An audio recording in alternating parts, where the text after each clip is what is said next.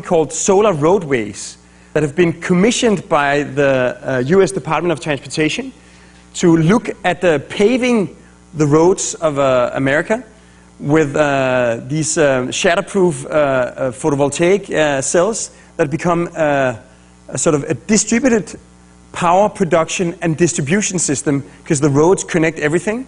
they, they're looking at like incorporating low voltage LEDs. And they calculated that if you would pave all of the highways and roadways of, of the United States, you could actually, in principle, power the entire world.